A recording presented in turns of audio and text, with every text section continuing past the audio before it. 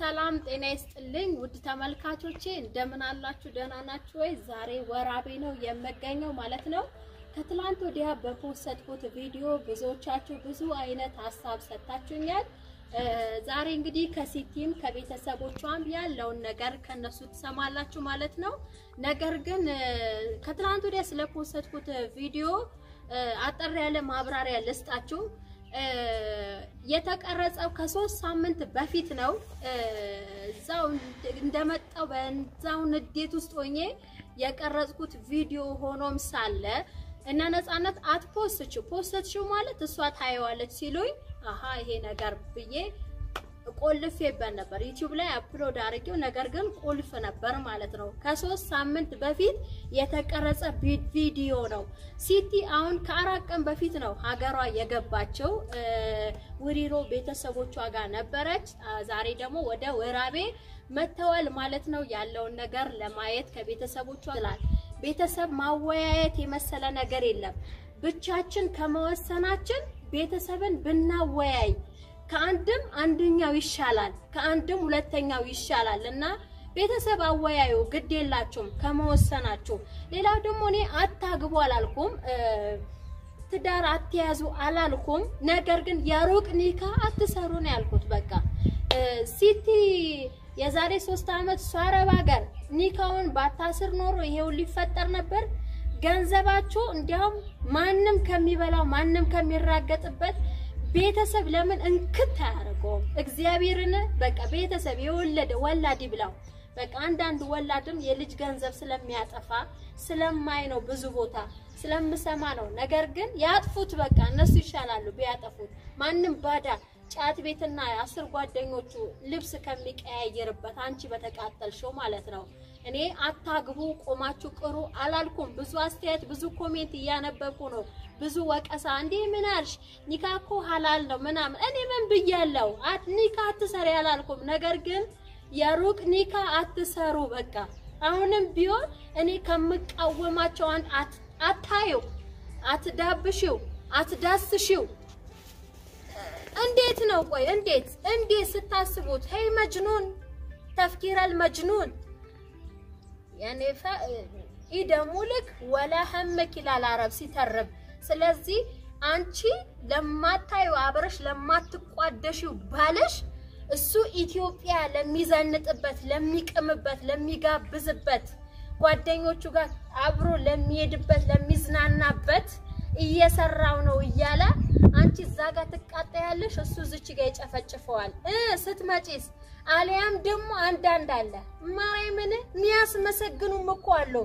እኔ ብዙ ቦታ ሄጃለሁ፣ ብዙ ዕቃ አድርሻለሁ፣ ብዙ ነገር አይቻለሁ፣ ብዙ ነገር ማለት ነው። እኔ ነኝ ያለ ቤት ከራሳቸው ሚስቶቻቸው አረብ ሀገር በሄዱበት ሁለት አመት አልከሶ የሚባል ሀገር ሄጄ ነው መጅሊስ ላደርስ የሰራው ቤት ቤት እንዳይመስላችሁ ማርያምን እጄ ይቆረጥ ነው ያልኩት። በቃ እንዴት እንዳመሰገንኩት በቃ ወንድ ማለት አንተ ነህ፣ እንዴት ታስመሰግናለህ አልኩት። እየሰራ እየለፋ እሷ ቶሎ እንድትመጣለት ቤቱ አልቆ ማለት ነው። እንዴት የሚያስመሰግን ቤት እንደሰራ አልከሶ። በቃ ብዙ ቦታ ሄጃለሁኝ እኔ ብዙ ነገር አይቻለሁ።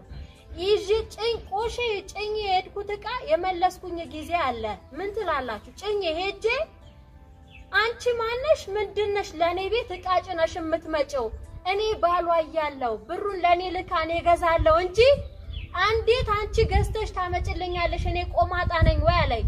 ልትሰድበኝ አይደለም ሚስት ናት ያዘዘችው አምጥቻለሁ ብለው አልቀበልም መልሽ ያለኝ መለስኩት። ምንድን ነው ይሸጣል፣ ትእዛዝ አይደል? አዲስ ዕቃ ነው ለሌላ ሰው ተሸጠ። ወደ ወልቂጤ ነው የተጫነው። አልጋ ነው፣ ቁም ሳጥን ነው። መተሽ አሰሪ ብርሽ ያውና አልኳት። በቃ አለቀ። ስመጣ ገዛበታለሁ፣ ይቀመጣለች፣ ተቀምጦላታል። እቃው ግን አየር ላይ እንደተሸጠው። ምክንያቱም አል ምንድን ያለው ለምን ለኔ ብሩ አላከችውም? እንዴት አንቺ ታመጫለሽ? እኔ ቆማጣ ነኝ ወይ ነው ያለኝ። ቆሼ እቃ ጭኜ ሄጄ የመለስኩኝ ጊዜ አለ። ድጋሚ ወራቤ ጭነሽ የሄድሽው እቃ ለምን አልመለሽም ብላችሁ ብዙ ወቅሳችሁኛል። ወራቤ በአምስት ሺህ ብር ነው እቃውን ጭኜ የሄድኩት። ሳመጣው አምስት ሺህ ከፍላለሁ።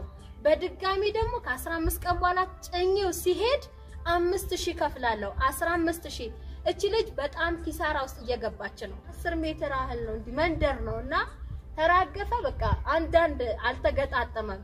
ይዘውት ማምጣት ይሻላል እንጂ ከመኪና ማራገፍ፣ ማውጣት፣ ማውረድ ኤምዴፍ ይሄ አሁን የመጣው ዘመናዊ አልጋዎችና ቁምሳጥኖች መፈታታት አይችሉም። ብሎኑ ሲገባ ሲወጣ ይፈረፈራሉ። ገባችሁ?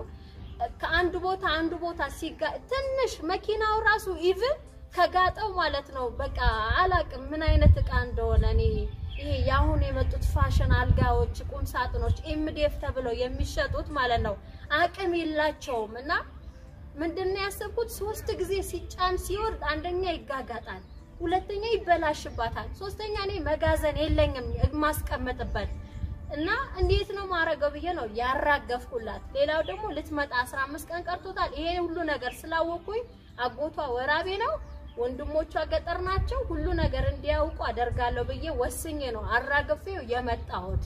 ገባችሁ? ሌላ ነገር ይሄ ተንኮል አስቤ ወይ የሆነ ነገር አስቤ ወይም ደግሞ የእሷ ቀን ምን አገባኝ ብዬ ጥዬ አልመጣሁም። ምክንያቱም ያዘዘች እንዲያውም እንደኔ ማንጀቱ የተቃጠለላት ሰው የለም ማለት ነው።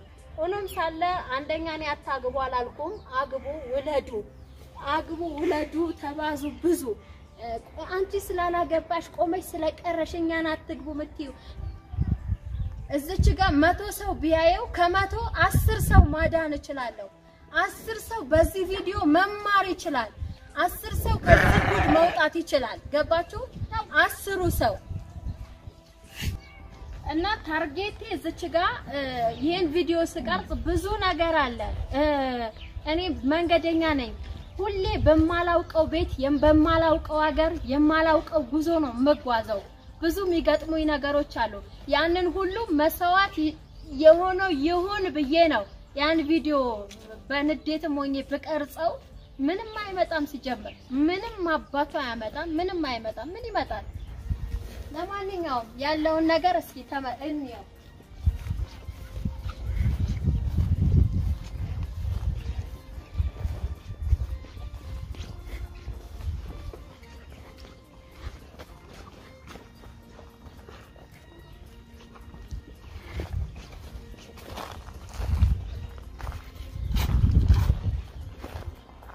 ቤቱ ይሄ ይመስላል። ያው 560 ሺህ ብር ነው ቤቱ ለመስሪያ የላከችለት ማለት ነው። receipt ኡ እና account ኡም ያው በነገራችን ላይ አጎቷን ሳላመሰግነው በዚህ አጋጣሚ በጣም ነው ማለት አንዳንዴ ቤተሰብ ይኑር፣ አንዳንዴ ጎን ይኑራችሁ ምንም ቢሆን ማለት ነው እና አጎቷ መሐመድ በጣም ጥሩ ጥሩ አስተሳሰብ ያለው እና አልቆለታል ጨርሼለታለሁ ብሎ የላከላት ቤትና እሱ በላከችው ገንዘብ 560 ሺህ ብር ጨርሷል የተባለለትን ቤት ይሄ ነው ማለት ነው። ቤቱ ይሄ ይመስላል። እንግዲህ ያ ሁሉ ዕቃ እዚህ ነው ማራግፈው። በር የለው መዝጊያ የለው። እሱ የላከው ሌላ የተሰራው ሌላ እና ይሄ ይመስላል እንደምታዩት። ይሄ የሲቲ ቤት ነው። ሆኖም ሳለ ይሄም ራሱ ተመስገን ነው።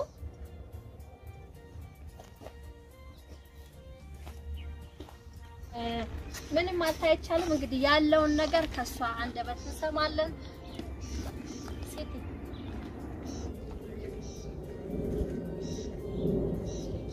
እኮ ሲጀምር ማልቀሱ አንደኛ እዚች ጋር ብዙ ሰው ይማርበታል።